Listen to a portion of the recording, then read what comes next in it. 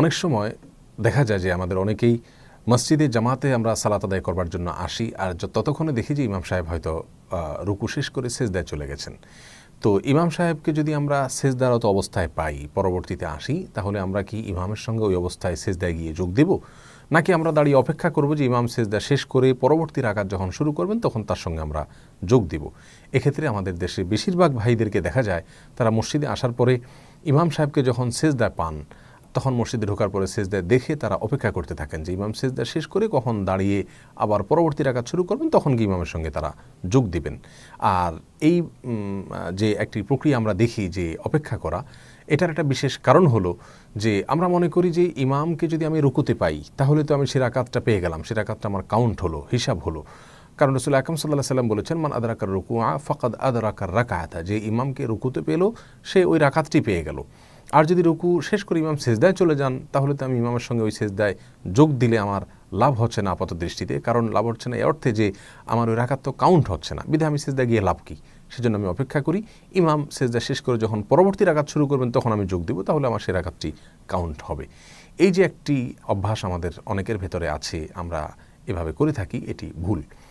এটা এই জন্য ভুল যে ইমামের সঙ্গে আমি যদি সেজদায় যোগ দেই তাহলে সেই রাকাতটি আমার কাউন্ট হবে না, এটা ঠিক। কিন্তু এই সেজদায় যোগ দেওয়ার ফলে আমার বিপুল পরিমাণ সওয়াব আহরণ করার সুযোগ থেকে যায়। আমি দাঁড়িয়ে থাকলে তো কোনো অর্জন আমার হচ্ছে না।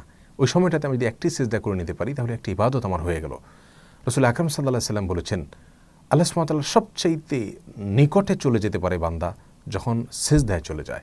অর্থাৎ সেজদায় আল্লাহ সুমাতালার নৈকট্য অর্জনের সবচাইতে বড় এবং মোক্ষম সুযোগ থাকে। প্রিয় ভাইরা আমার, অতএব আমরা যদি একটি সেজদাও দিতে পারি ওই রাকাতে ইমামের সঙ্গে, অথবা দুটি সেজদাও যদি দিতে পারি, তাহলে আমরা দুইবার অথবা একবার আল্লাহ সুমাতালার একেবারে কাছাকাছি চলে গেলাম। আল্লাহ নৈকট্য অর্জন করবার সুযোগ আমরা পেয়ে গেলাম। সেখানে আল্লাহ সুমাতালার পবিত্রতা বর্ণনা করবার সুযোগ পেলাম এবং তার মাধ্যমে আল্লাহ সুমাতালার নৈকট্য অর্জন করলাম সব করলাম।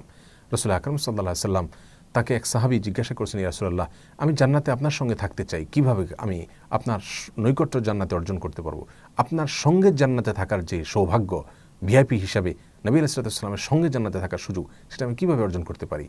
তখন রসুল আকরম সাল্লাহ সাল্লাম তাকে বলেছেন আইননি বিকাথরাতে সুজুদ, তুমি আমাকে বেশি বেশি সিজদা করে আমাকে সাহায্য করো। অর্থাৎ বেশি বেশি সিজদা যদি তুমি করো, তাহলে ইনশাআল্লাহ জান্নাতে আমার সঙ্গে তুমি থাকতে পারবে। প্রিয় দর্শক আমরা তো যে হিসাবে, হিসাবি সেজদাগুলো করি প্রতি রাখাতে দুটি করে সেজদা, সেগুলোর বাইরে তো আল্লাহ সুমাতালাকে খুব একটা সেজদা করা হয় না। তেলাওতে সেজদা করা হয়।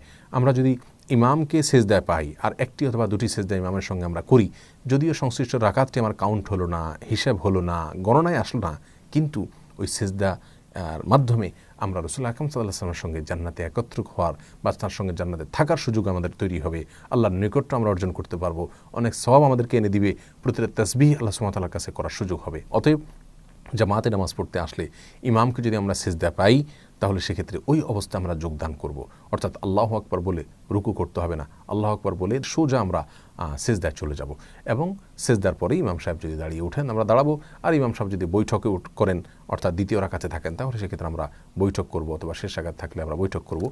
অর্থাৎ ইমাম সাহেবকে ফলো করব। কিন্তু কোনো অবস্থাতেই এই ভুলটা করব না, যেটা বেশিরভাগ মানুষ করে থাকেন। অর্থাৎ আমি মসজিদে একটু পর- আসলাম, ইমাম সাহেব সেজদা আসেন। আমি সেজদা গিয়ে আর কী লাভ হবে? আঘাত তো আমার কাউন্ট হবে না, সেজন্য আমি দাঁড়িয়ে থাকলাম। তাহলে দাঁড়িয়ে থেকে তো আমার কোনো অর্জন হচ্ছে না। এই ভুলটা আমরা করব না, দাঁড়িয়ে না থেকে সেজদায় গিয়ে ইমামের সঙ্গে আমরা যোগ দেবো এবং শুধু সেজদা নয়, বৈঠকেও যদি ইমাম সাহেব থাকেন, আমরা বৈঠকেও যে ইমামের সঙ্গে যোগ দিব, আমি জামাতের সঙ্গে যত আগে যোগ দিতে পারব, তত বেশি আমি জামাতে সামিল হওয়ার সব আমার করে নিতে পারব ইনশাআল্লাহ। আর দাঁড়িয়ে থাকলে আমার তো কোনো সব হচ্ছে না। বিধে আমরা এই ভুলটা আর করব না ইনশাআল্লাহ এবং এটাকে আমরা সংশোধন করে নেব। আল্লাহ আমাদের সকলকে সঠিক এবং বিশুদ্ধ রূপে প্রতিটি ইবাদতকে পালন করার তৌফিক